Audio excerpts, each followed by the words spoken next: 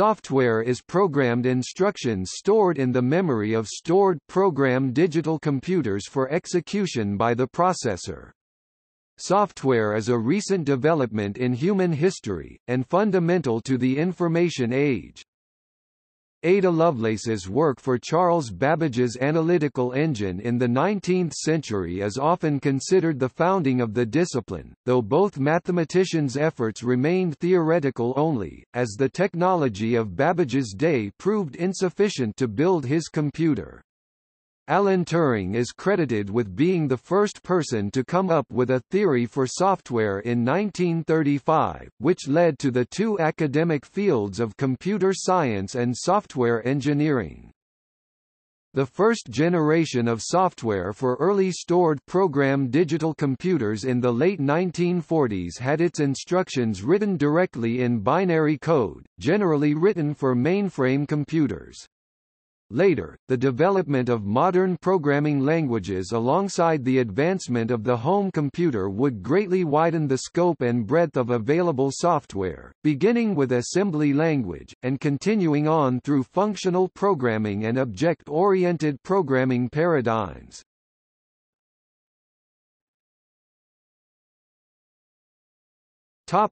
Before stored program digital computers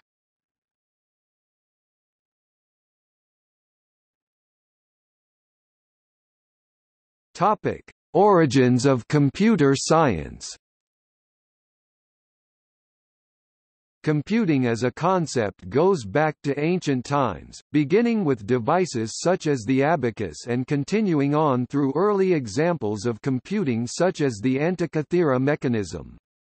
However, these devices were pure hardware and had no software, their computing powers were directly tied to their specific form and engineering.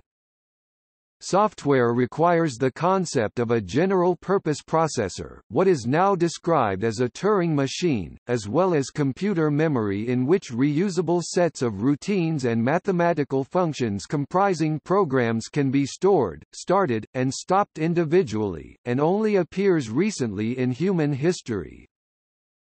The first known computer algorithm was written by Ada Lovelace in the 19th century for her friend and collaborator Charles Babbage's planned analytical engine, to translate Luigi Menabrea's work on Bernoulli numbers for machine instruction.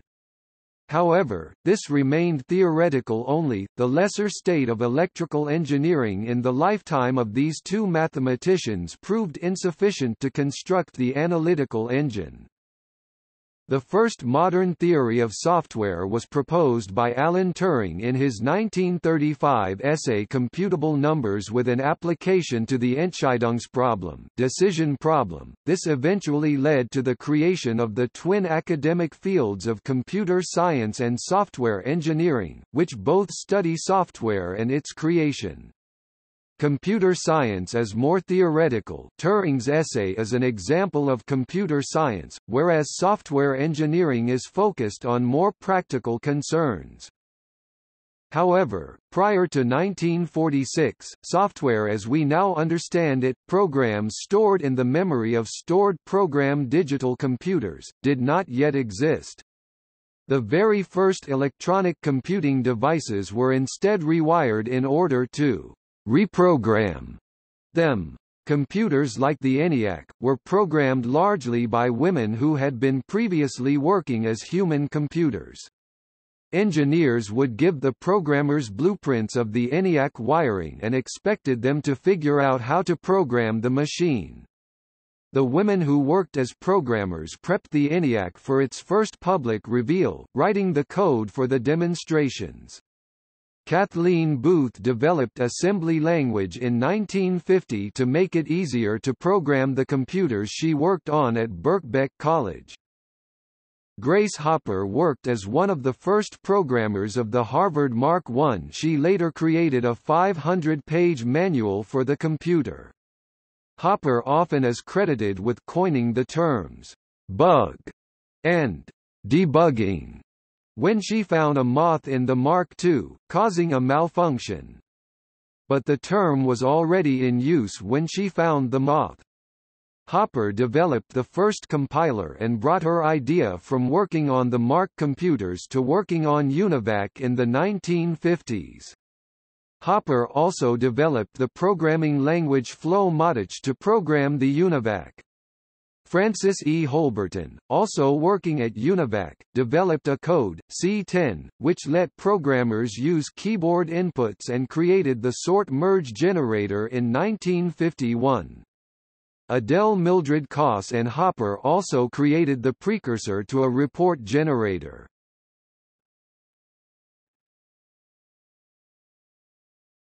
Topic: Early days of computer software 1948 to 1979. In his manuscript, A Mathematical Theory of Communication, Claude Shannon (1916–2001) provided an outline for how binary logic could be implemented to program a computer. Subsequently, the first computer programmers used binary code to instruct computers to perform various tasks. Nevertheless, the process was very arduous. Computer programmers had to enter long strings of binary code to tell the computer what data to store. Computer programmers had to load information onto computers using various tedious mechanisms, including flicking switches or punching holes at predefined positions in cards and loading these punched cards into a computer. With such methods, if a mistake was made, the whole program might have to be loaded again from the beginning. The very first time a stored program computer held a piece of software in an electronic memory, and executed it successfully, was 11 am, 21 June 1948, at the University of Manchester, on the Manchester Baby computer. It was written by Tom Kilburn, and calculated the highest factor of the integer 2 to the power of 18 equals 262,144. Starting with a large trial divisor, it performed division of 262,144 by repeated subtraction then checked if the remainder was zero. If not, it decremented the trial divisor by 1 and repeated the process. Google released a tribute to the Manchester Baby, celebrating it as the birth of software. In the late 1950s and early 1960s, a popular innovation was the development of computer languages such as Fortran, COBOL and BASIC. These languages allowed programs to be specified in an abstract way, independent of the precise details of the hardware architecture of the computer. The languages were primarily intended only for specifying numerical calculations. COBOL was first conceived of when Mary Kay Hawes convened a meeting which included Grace Hopper in 1959 to discuss how to create a computer language to be shared between businesses. Hopper's innovation with COBOL was developing a new symbolic way to write programming. Her programming was self-documenting. Betty Holberton helped edit the language which was submitted to the Government Printing Office in 1960. FORMAC was developed by Jean E. Sammet in the 1960s. Her book, Programming Languages, History and Fundamentals 1969, became an influential text.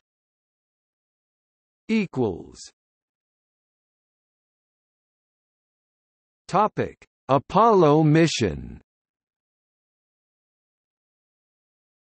equals the Apollo mission to the Moon depended on software to program the computers in the landing modules. The computers were programmed with a language called BASIC. The software also had an interpreter which was made up of a series of routines and an executive, which specified which programs to run and when. Both were designed by Hal Laning. Margaret Hamilton, who had previously been involved with software reliability issues when working on the U.S. SAGE air defense system, was also part of the Apollo software team. Hamilton was in charge of the onboard flight software for the Apollo computers. Hamilton felt that software operations were not just part of the machine, but also intricately involved with the people who operated the software. Hamilton also coined the term, software engineering. While she was working at NASA, the actual software for the computers in the Apollo missions was made up of wires that were threaded through magnetic cores. Where the wire went through a magnetic core, that represented a 1, and where the wire went around the core, that represented a 0. Each core stored 64 bits of information. Hamilton and others would create the software by punching holes in punch cards, which were then later processed on a Honeywell mainframe where the software could be simulated. When the code was solid, then it was sent to be woven into the magnetic cores at Raytheon, where women known as little old ladies worked on the wires. The program itself was indestructible and could even withstand lightning strikes, which happened to Apollo 12. Wiring the computers took several weeks to do, freezing software development during that time. While using the simulators to test the programming, Hamilton discovered ways that code could produce dangerous errors when human mistakes were made while using it. NASA believed that the astronauts would not make mistakes due to their training. Hamilton was not allowed to program code to prevent errors that would lead to system crash, so she notated the code in the program documentation. Her ideas to add error-checking code was rejected as excessive However, exactly what Hamilton predicted would happen occurred on the Apollo 8 flight, when human error caused the computer to wipe out all of the navigational data.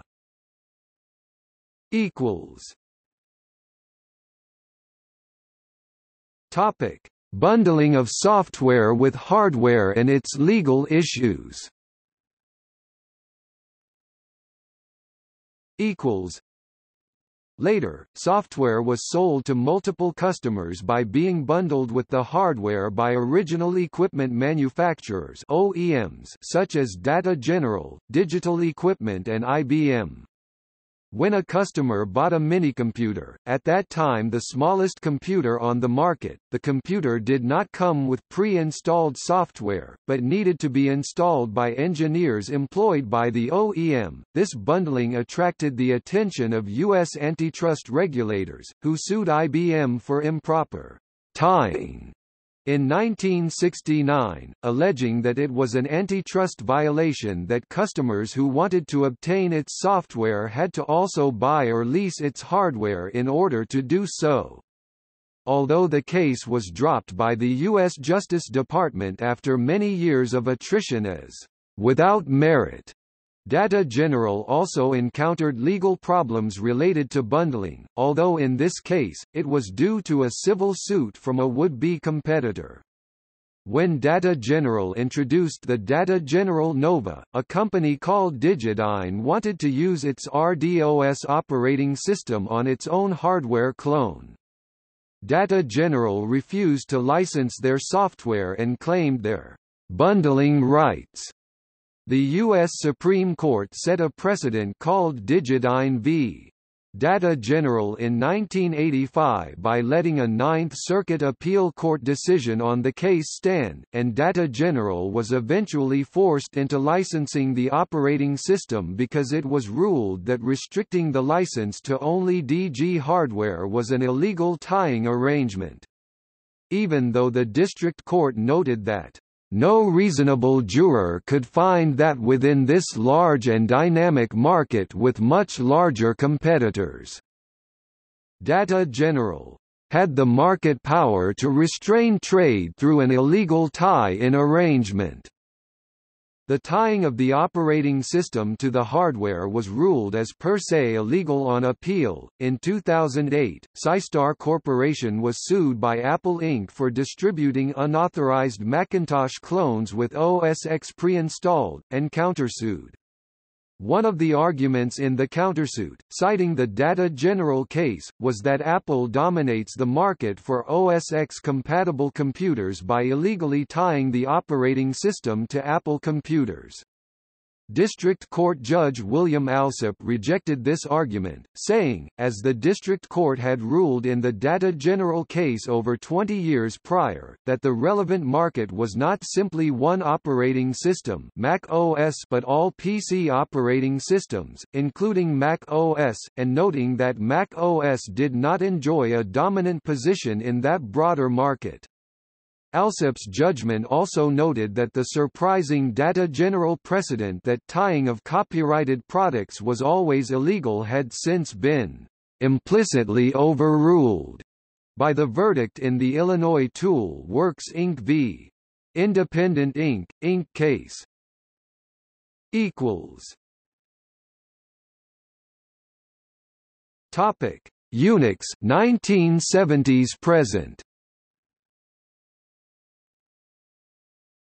Equals Unix was an early operating system which became popular and very influential, and still exists today. The most popular variant of Unix today is macOS previously OS X and Mac OS X, while Linux is closely related to Unix.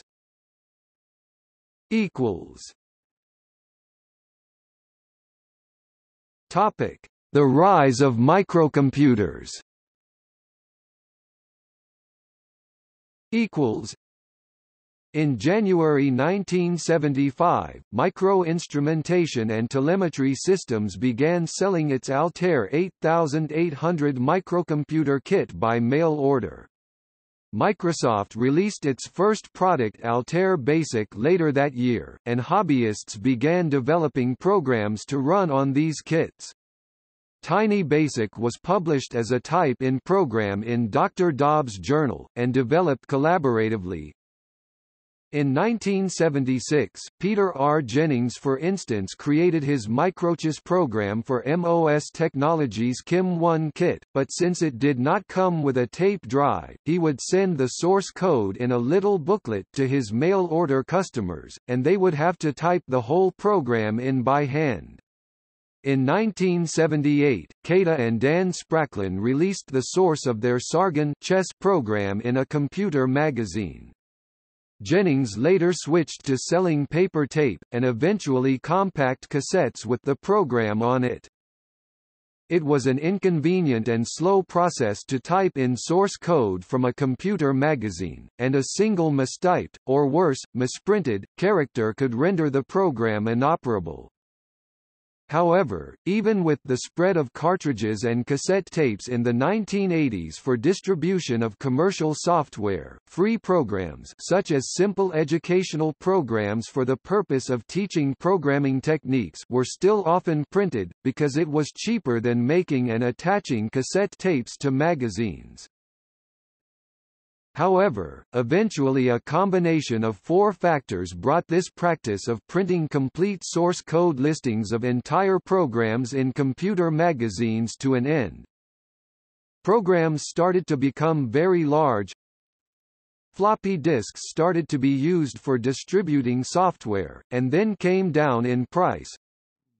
Regular people started to use computers, and wanted a simple way to run a program, Computer magazines started to include cassette tapes or floppy disks with free or trial versions of software on them. Topic 1980s present Before the microcomputer, a successful software program typically sold up to 1,000 units at $50,000 minus 60,000 each. By the mid-1980s, personal computer software sold thousands of copies for $50-700 each. Companies like Microsoft, Micropro, and Lotus Development had tens of millions of dollars in annual sales. They similarly dominated the European market with localized versions of already successful products. A pivotal moment in computing history was the publication in the 1980s of the specifications for the IBM personal computer published by IBM employee Philip Don Estridge, which quickly led to the dominance of the PC in the worldwide desktop and later laptop markets, a dominance which continues to this day.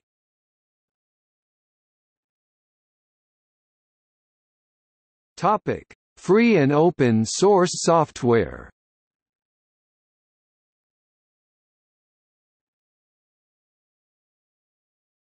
Topic: Recent developments.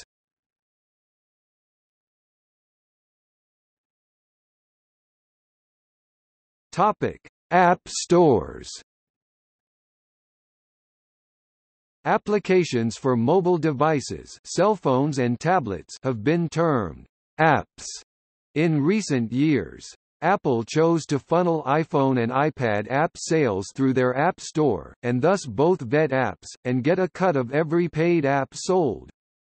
Apple does not allow apps which could be used to circumvent their App Store e.g. virtual machines such as the Java or Flash virtual machines. The Android platform, by contrast, has multiple app stores available for it, and users can generally select which to use although Google Play requires a compatible or rooted device. This move was replicated for desktop operating systems with GNOME software for Linux, the Mac App Store for Mac OS, and the Windows Store for Windows. All of these platforms remain, as they have always been, non-exclusive, they allow applications to be installed from outside the App Store, and indeed from other app stores. The explosive rise in popularity of apps, for the iPhone in particular but also for Android, led to a kind of «gold rush» with some hopeful programmers dedicating a significant amount of time to creating apps in the hope of striking it rich. As in real gold rushes, not all of these hopeful entrepreneurs were successful.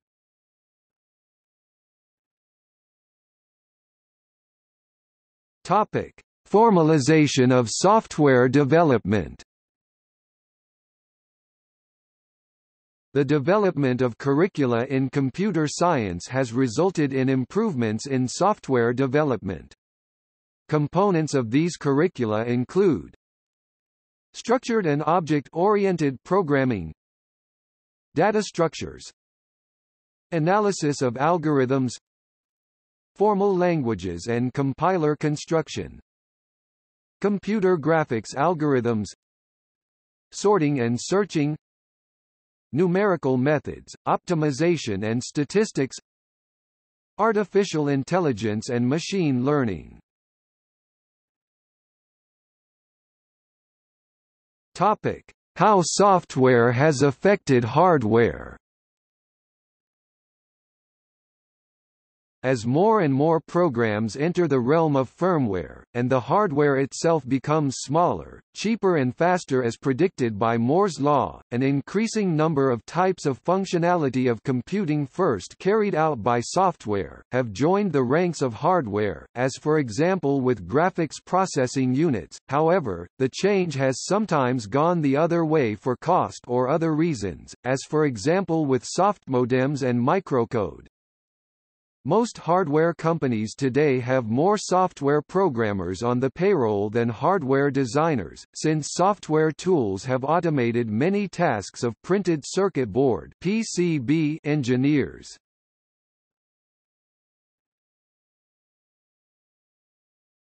Topic: Computer software and programming language timeline The following tables include year-by-year -year development of many different aspects of computer software including High-level languages Operating systems Networking software and applications Computer graphics hardware, algorithms and applications Spreadsheets Word processing Computer-aided design Topic 1971 to 1974.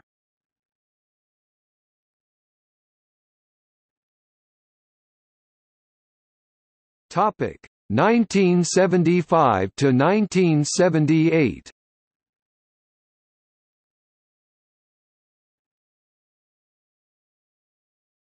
Topic 1979 to 1982.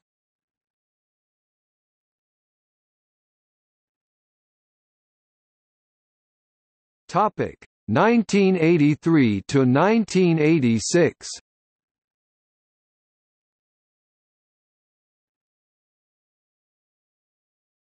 Topic 1987 to 1990.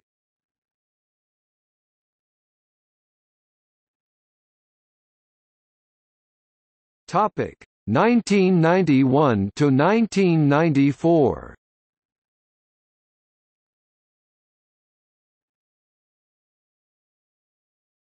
Topic 1995 to 1998.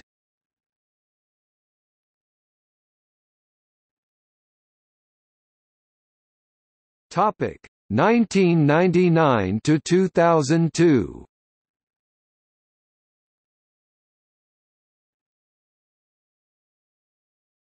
Topic 2003 to 2006.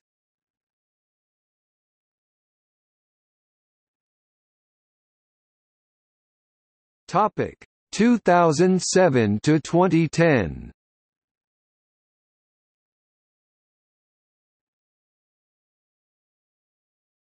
Topic. 2011 to 2014.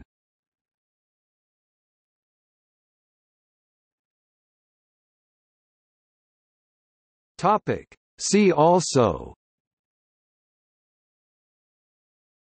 Forensic software engineering History of computing hardware. History of operating systems. History of software engineering. List of failed and overbudget custom software projects. Women in computing. Timeline of women in computing